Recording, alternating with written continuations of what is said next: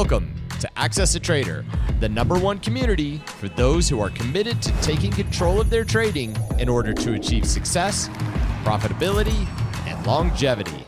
Thank you for joining us.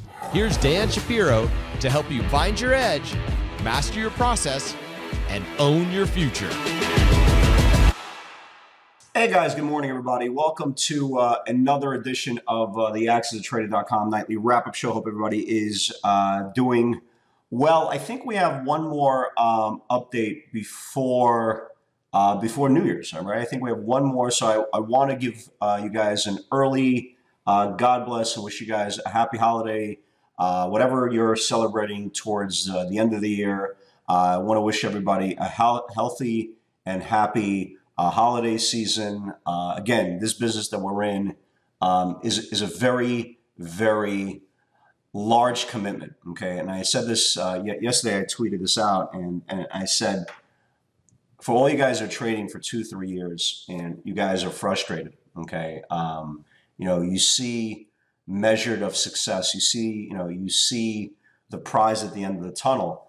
Unfortunately, for many of you guys, um, you're so frustrated you can't get to that level yet. You just can't get to that level, whether it's consistency, profitability, or just being able to kind of control the narrative. Okay. And I want to just express to you guys, and I, have said this throughout the years, you're not supposed to. Okay. You're, you're really not supposed to. You don't need to be frustrated. Um, you kind of just need to kind of take a step back take a deep breath and just understand you're not supposed to get all this stuff. Okay. Um, you know, trading two, three years it, it might sound like it's a lot of time.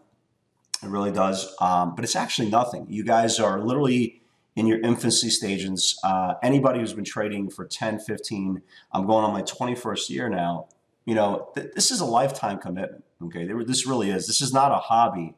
So for most of you guys who are uh, balancing uh, work, full time job, and are balancing a family, hectic, hectic family life, and all that good stuff, it, it takes a lot of, I mean, it really does take not even a lot of effort. The effort it has to be there. I mean, that that's for sure. The will and the want and the dedication to you know to sit down and really uh, try to embrace all the information. That's incredibly important. But a lot of you guys, unfortunately, you know, it's family life, right? It, it, you know, you have a you have a full time job, you have kids, you have tuitions, you have uh, car payments, you have mortgage payments, you have everything the above. And sometimes it's just hard to be right, or hard to want to be a full-time trader. And, and again, where does it say you need to be? Okay, where does it say, uh, you know, in the in the you know in the rule book that you need to be a full-time trader um, to have any any type of consistency or success? I, I think I think a lot of people ro- romanticize the idea of being a full-time trader because it's sexy, right? You're your own boss.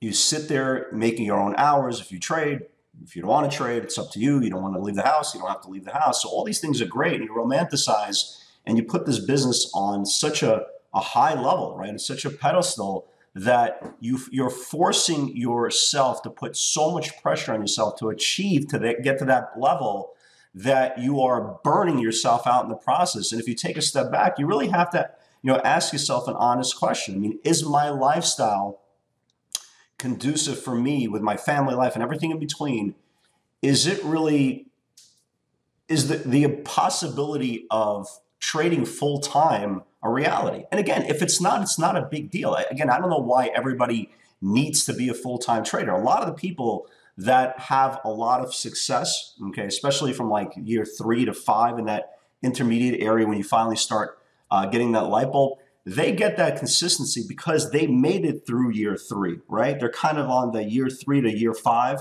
and they finally starting to find a li- little bit level of success, a little bit level of consistency. But the reason why they're getting that consistency is their income, right? Their other income that they're coming in every single week that's paying for your mortgage, paying for your uh, for your kids' uh, clothes and food and all that stuff. It's it's depleting your ability to control your emotions that you know again when you have income coming in it's so much easier to trade because you know that your kids are fed. You know that you have a steady job. So the idea that you want to be a full-time trader that's great right? But the idea of have income and supporting your family and making sure your kids have smile on their faces that's the most important part. Again if you're lucky enough uh, to put yourself in a position to have really good amount of outside revenue coming in. Trading is so much easier mentally because you're not pressing every single decision. When you want to be a full-time trader, all that goes away. You have to be perfect. You have to be extra perfect. You can't be, you know, you can't sit around for two, three, four days waiting for the market to expand because, well, you want to trade. Again, having that income level coming in, okay, on your other jobs, your investments, whatever the case may be, that's giving you the cushion to trade. Okay, not the other way around. So, you know, the idea of being a full-time trader, that's awesome, right? It's a great idea and it's fantastic. And again, unfortunately, so many people want to, okay, but realistically don't have that opportunity because of their outside influences, and that's okay. Okay, just understand that's okay. Again, there's no reason to believe or to think that you can't trade for a living, okay, and at the same time have uh, have a, a full time job. It's okay. I know, I know so many people that do that, and it's very very important to understand the reason why they're able to do that successfully is because they have that burden taken off because they do have outside income coming in. So again, guys, just relax. If you're trading two three years, don't be frustrated, right? Don't be frustrated. Nobody is expecting you. Uh, is expecting you to understand everything, to know everything. Again, at, at this cycle, you're, you're an infant, right? Two, three years old. Just imagine a child at two, three years. You know, at, you know, you're driving at 16. You can't even, you barely can put a sentence together at year two, right? So life is is the most extraordinary teacher. It's experience, it's time, and the more time you put into this business, the more it makes sense. So at two, three years, don't put a lot of time. Your first two, three years, just consume a bunch of information in the world that this market has to give. There's so many moving parts that nobody can just sit down and say, well, this is what happening. This is a year or two. This is what you're supposed to it's not what you're supposed to do. It's what you're not supposed to do. Okay. It, you know, I, again, I can sit down with anybody and say, well, this is a pivot. You know, you, you, you know, here's a pivot right here. You short it here. It should go to the next support and confirms this. It should go to the next. That's the easy part, right? That's the easy part it's the visual part.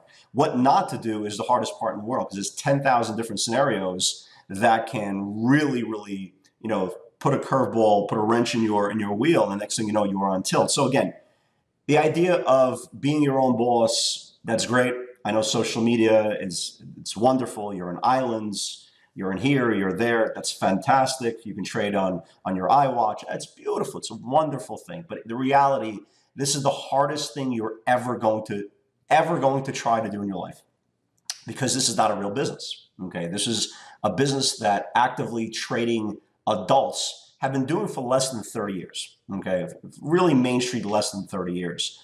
So again, there is no blueprint for us. Okay, there is no blueprint for us. I'm going on my 21st year. I'm finding creative ways to shoot myself in the foot every week. Okay, and this is 20, almost 21 years in. For you, two, three years, why are you putting so much emphasis to understanding everything? You're not going to understand everything. I don't understand everything. Okay, I'm the biggest schmuck on the planet, so it takes me longer. But at least I put the ego away. At least I understand that I keep on needing to learn more and more not to repeat the same careless mistakes that have been driving me nuts for 20 years. So why should you put yourself in a position that you're glamorizing an industry that you think you are entitled? And again, the word entitled is not for everybody. Okay, there's so many people, incredibly hardworking people that will work two, three jobs and they want it bad. They want it bad. Just circumstances, unfortunately, will not let them get to that position. But again, guys, you have to just face reality and say that's okay as well. I'm more than willing to be an investor. I'm more than willing to be a passive trader. I'm more than willing to put myself in a situation 10 years from now, even if I am on year three, year four education, I want to be involved. But give yourself that opportunity. You, you don't need to prove anything to anybody. You don't need to rush the learning curve. You don't need to pretend that you know you know everything that we're talking about doesn't exist. Just relax, man. Enjoy your life. Enjoy. You don't need to do everything at once it's all about the journey. It's all about putting yourself situation for tomorrow. It's not about today. It's all about tomorrow. And again, guys, for all you guys that are trading for two, three years, I know it sucks. It sucks. I know a lot of you guys are at the point of you want to rip out your eyeballs and just just throw them out the window. I get it, okay? But just understand everybody that's been trading before you and after are, is going to go the same thing, okay? Um, unfortunately, people have different routes, different timelines. For clarity, but again, as long as you accept that and appreciate the journey, everything will work out. So have faith, um, and you know God will bless you. Um, so let's talk about right? Indexes are flat this week, you know, up a little bit. Uh, Nasdaq, S and P, uh, and the Dow Jones flat, right? Everybody was waiting for uh, news, and when you're trading a headline-driven market, especially with China, you're going to have a lot of inconsistencies: up, down, up, down, up, down. So this week we had the Fed, we had economic numbers, and they were cool. That's fine. We have that uh, pretty much every week, and everything is fine. The most important uh, piece of information that we were waiting for, it was from China. Okay. And throughout the years, we're, we're just getting headlines from the White House. They are controlling the narrative. We're very, very, um, we are very confident a deal is going to get done. Market goes up. We're very, very confident that, well, you know, maybe a deal doesn't get done. The market goes down. But this time around it was a little bit different. You know, we weren't getting that message from the White House. We are actually we're waiting for the Chinese. And Friday, uh, Friday, you know, they made that announcement. They are we're going to uh, put out some sort of press release on the um, developments, right? On the developments of this phase one deal, okay? And the market was just sitting there and waiting, sitting and waiting. And finally, Friday, uh, around, I think it was around um, 10 a.m. Eastern time, uh, they finally released some news. And this was actually much more important than uh, Trump headline or the White House or Kudlow or anything in between. And they finally, you know, announced some agreement to this phase one, right? Phase one we heard uh, a couple of months back with some details. And the most important part of those details was some uh, agreements on the agricultural part, uh, the December 15 um, tariff kind of pushed forward or moved away, whatever the hell the headline was, doesn't make a difference at this point.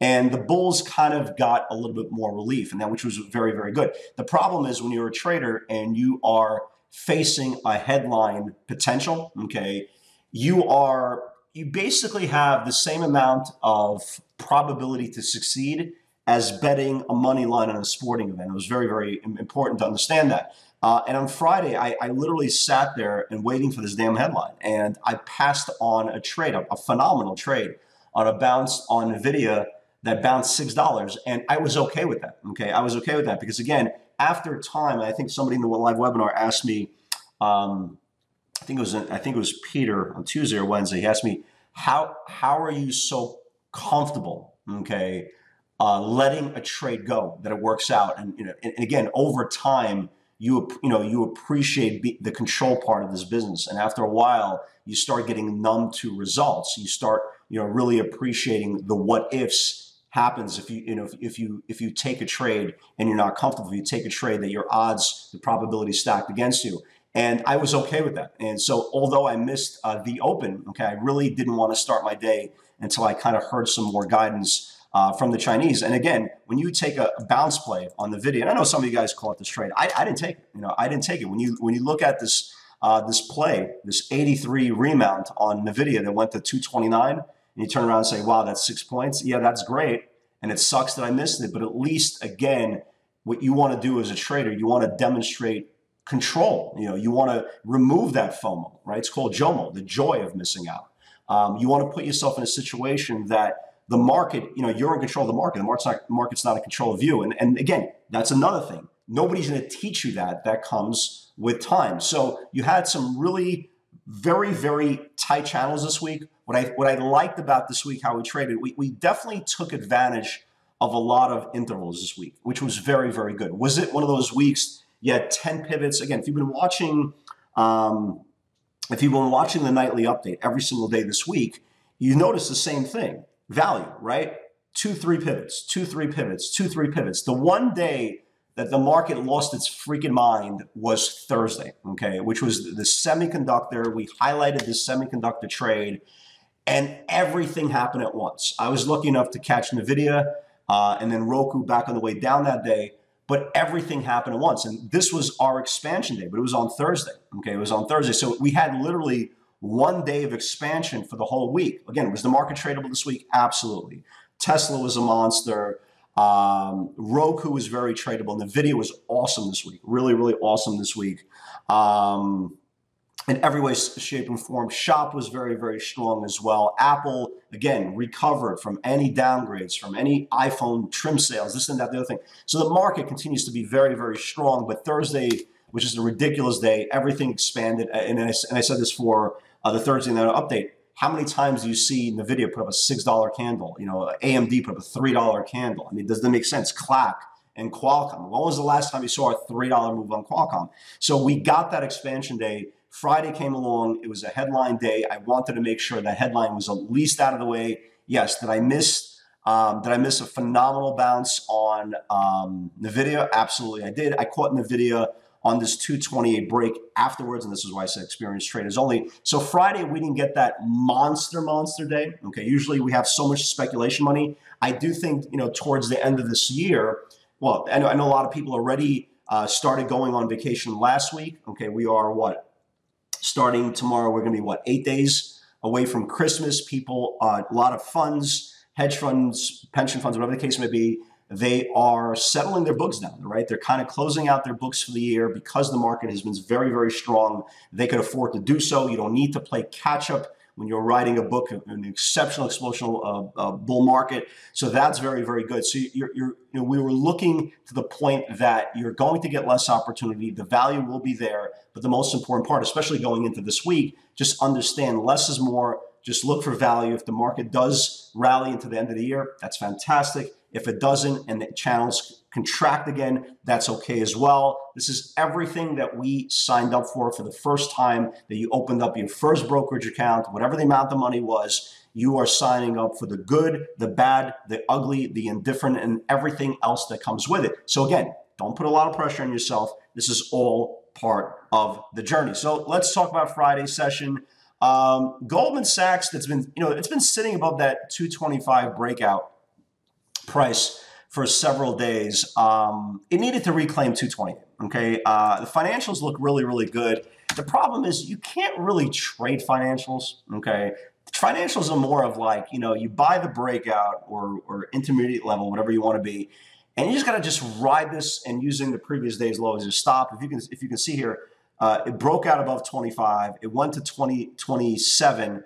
Uh, I talked about this two, uh, 228 pivot pre-market, which never got there. And again, the reason was because, again, if you look at the 60-minute channel, again, I look at all data. And if you look at all this whole channel here, this is 228. So it's very, very important to, again, uh, correlate the 60-minute view for entry and obviously use the daily chart as your macro uh, guide. So obviously this never triggered, uh, never confirmed, uh, traded as high as actually 227.99. So again, this is how specific uh, these pivots are. Uh, KRTX never never got up to the 79, which was very very which was very weird. I, I really thought um, after that Thursday day you're going to have another session above that 679 and never got up there. And now it's you know it's tested the 63 level several times. You know what? We should really start watching this thing uh, back to the downside because if this thing starts losing 63, right? 63, 63, 63, 63. Yeah, this thing starts losing 63. There's a lot of room down. You can see to the 48 level. So obviously that didn't trigger uh, a DAP tick uh, 32. I like the DAP tick of 32. That never triggered, right? Never triggered that. So you can see not only did we have not only did we have uh, a market sensitive headline driven market, but a lot of these names just didn't didn't even trigger. Uh, NVIDIA I caught. Uh, unfortunately, I know, I know a lot of you guys caught that bounce off the 220, uh, 223. Again, NVIDIA has been actually a good trader for me the whole week. Um, this has been really, really good. Again, we've been trading NVIDIA since it started reclaiming this 10-day moving average. If you go through my uh, for all you guys who are not on the live webinar, you go through my timeline in the last week or so, you can see pivots all over the place 213.50, 14.50, 18, uh, 28. All these things were very, very good. So NVIDIA was actually a pretty damn good trader uh, this week. So I missed the bounce. No, excuse me, I don't want to say I missed the bounce. I didn't take the bounce. I, I, I knew this headline was above me. I just didn't feel like putting on the risk. Uh, it started reclaiming at 83 and just exploded up. So if you did take it, and a lot of you guys did, Kane was making fun of me in the room. Dan, I'm going to sell you my 223 stock that I bought for you to buy it at 228. I probably did buy Kane stock. Uh, but yeah, I, I, scalped it. Once the news came out, I did scalp it from the 228 level, uh, which was fine. But obviously, 223 to 228 is a whole big different story. 228 to 229. So a whole big different game there. Um, Amazon was close. Okay, I still like Amazon, and I said, hey, you know what? Amazon really needs to reclaim the 72, 73. And you can see how close Amazon is. There's just something wrong with this name, man. It just keeps on coming up, right? You can see the 72, 73 level right here, this whole range right here. It keeps on coming to this level. Like Friday's uh, pre-market high was 1770, and it just rolls over again. I, I, don't know. I can't figure out what's going on with Amazon. Obviously, um, obviously it didn't. Uh, it didn't even come close to uh, managing. Uh, KOD, uh, you know, too thin of a stock. It traded up to 64.50 and then never confirmed. Okay, nothing there. Uh, shop. I, I, caught a piece of this shop scalp. Uh, I, I, don't usually trade shop a lot, um, but I did trade it on Friday um, only because, again, I, I kind of missed my window with everything else uh, because of the timeline. Uh, shop, you know, again, here's shop. Uh, we got long shop at, uh, I got long a little under 284, right? So here was the whole 280, excuse me, right here. It was 284 right here.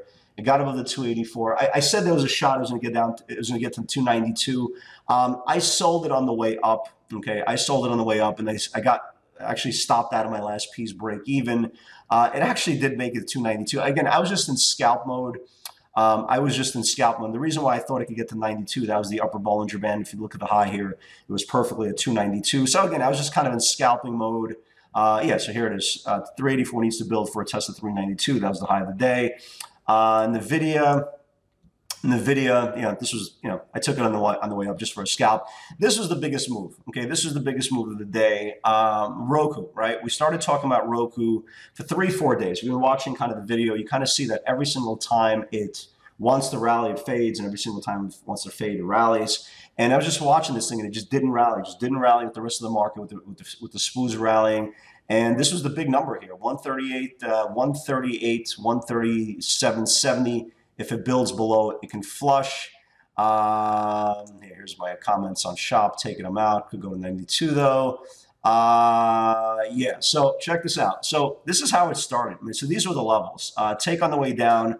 Uh, 136.80 is yesterday's low, or the lower band is 60.40 if it completes a cycle. And then it completed its cycle okay? And then it completed its cycle. And let me just show you just from the from from the areas of interest. So this is Amazon needs to reclaim 1770. That didn't do that. Uh, but here's the most important part of Roku, right? So here's the most important part. So Roku started building above this, uh, below this 138.13 level. Okay, so then I, I, said there was a shot it gets down to 136.80 which was candle here. Okay, and I said, hey, it's probably to start stop around the 136.40s because that was the Bollinger Band. And then it started building below 136. And I was talking about there's a shot it gets down to 132, and Roku just got just destroyed, just absolutely destroyed. Uh, I actually like it for, for, for Monday. You know, I think it goes lower. I think there's a shot it gets down to 30. And any close below 30, I mean, there's, there's a lot of room down. I mean, again, obviously the market would have to uh, really help it out. But there is a lot of room down on Roku. Uh, any close below this uh, rising macro support of 30. So I, I, like it. I think if this takes out this channel here, I think there's like a couple bucks in the trade just for the initial move. But any close, guys, any close on Roku uh, below that 130.80, right, 130.50 level, there's a lot of room down. So uh, keep an eye on that. So overall, uh, no complaints about the week. Again, you don't want to, you know, you don't want to burn mental equity when you have channels contracting, but when they expand, like that we saw on Thursday sessions, uh, things become uh, pretty good. So let me give you guys some ideas uh, for Monday. Okay, for Monday, let me give you guys some ideas. So I like a bounce on Facebook. Okay, uh, Facebook was strong until like this week. Um, you saw that news come out on possible FTC violations, blah, blah, blah. Look, we're in a bull market. When you're in a bull market, you have to respect technicals. I think if Facebook could get down to here, everybody see that, guys? You see this rising kind of aqua, right? Kind of aqua line. The, the bottom of this channel here is around that one, you know, 192.30s, 192.50s. Okay, keep in mind we're still in the bull market. If this thing holds, right? If it holds at 192.30s, 192.50s, I, I think that's gonna. I think it's gonna start bouncing back again. It's a big if, if, if, if. But the probability, if you believe stocks hold major areas, then you have to give the 50-day moving average uh, kind of the benefit of the doubt. So I, I kind of want to watch Facebook on a bounce somewhere around this 192.30s, 192.50s. Obviously, the low of the move will be your max pain. So if it gets down, for example, 192 uh, 10, right, and you get long 192.30s, well, then 192.10 is, is your out. So you, you could have a very, very good reward for a possible bounce back. So let's definitely keep an eye on that. Um, I kind of like Match.com Um, again, the stocks to buy in in a in a linear bull market, okay, are the ones that are coming off a bottom. If you guys notice, I've been putting a lot of names like Boom. You guys remember the, the, the chart on Boom from Tuesday, right? Fifty dollar break. Again, if you look at the common denominator from Boom, right? Look where Boom has come from. Boom is coming from the bottom correct? So if you look at Boom, that $50 break that we had earlier in the week, $50 is you know, kind of trading to this 53.50s area. Again, it's coming off a bottom. If you are looking at Match.com, right? Oops, MTCH. If you're looking at Match, right, it's coming off a bottom. So if Match can start reclaiming this channel right here, roughly around the 72, 72.50 area, there's a shot it starts going to 74 and then maybe 75. So for all you guys who are swinging these names, keep an eye on it. Looks pretty good. Keep an eye on that as well. Um, shop looks really, you know, shop continues to look really good as well. Again, just hit supply. If it can reclaim this whole supply over here, there's a shot. Shop goes back to 410. Again, so we have to watch this area here for the rest of the week. And I kind of like this TBTH, um, TB, what is it? TBPH. For all you guys are training non-beta, I don't know what the hell this thing is, but it does look pretty good. It had this big, big, big move, consolidation, 1, 2, 3, 4, 5, 6, 7, 8, 9, 10, 11, 12, 13, tomorrow will be day 14. You have almost three weeks of consolidation. If it starts reclaiming, you know, starts reclaiming 2220, 2230, you could get a move uh, within the volume uh, to that 23 uh, 30s upper Bollinger for the initial pop. So, uh, guys, that's it. Guys, have an awesome, awesome Sunday. Have a great rest. Enjoy your holidays. Enjoy your life. If you're trading with us this week, uh, please get to Morning Strategy. Uh, we start a little bit after 9 o'clock Eastern Time. Um, and if you're not, God bless. Have an awesome, awesome trading week. And with God's help, we'll see each other all in the field tomorrow. Take Congratulations for putting in the time to take control of your trading. You're one step closer to owning your future and achieving the success you desire. Want daily trade ideas directly from Dan, straight off his personal watch list? Unlock our free PS60 Vault, where you'll get nightly updates on pivot opportunities we're watching for the next day's session. Click the link in the description to get started today.